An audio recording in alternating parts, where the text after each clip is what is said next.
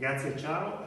Eccoci di nuovo oggi, eh, ritorniamo a fare qualche esercizio sul eh, putting green. Di fatto andremo a rispolverare due esercizi, uno che conosciamo molto bene, il nord, sud, ovest, est, indoor, e poi ci sarà un video successivo per l'esercizio del trenino. Sono due esercizi che servono sia a migliorare la nostra performance dalle corte distanze, ma anche eh, legati alla velocità della palla. Nord, sud, ovest, est lo conosciamo molto bene, ma come viene disposto in casa nostra, sul nostro tappeto, eh, so che qualcuno di voi si è attrezzata con un tappeto un po' più anche degli esercizi tecnici e mi raccomando portiamoli avanti quelli perché sono eh, fondamentali, ma va benissimo anche un tappeto qualsiasi. Al, in mezzo mettiamo la nostra buca, ricordiamola di ritagliarla su un foglio di carta, il diametro deve essere di 10,8 cm.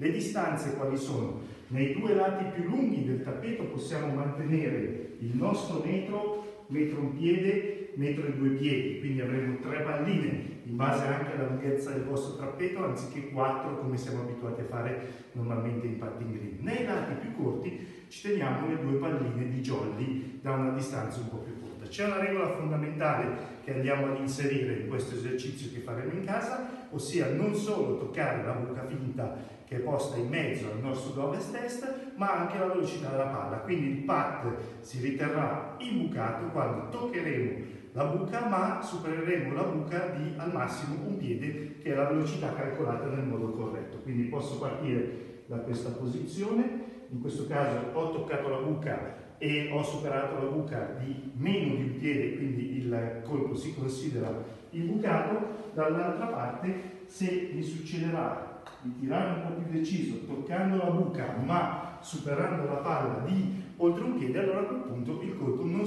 considera più eh, imbucato. Il challenge del nord sud-ovest est rimane quello che sappiamo in base al numero di colpi che eh, riusciamo a utilizzare in base alle dimensioni del tappeto. Quindi ogni palla che tocca la buca e la supera al massimo di un piede vale un punto, altrimenti vale zero e mi aspetto i vostri risultati sul nostro gruppo. Tra poco il secondo esercizio, quello del 3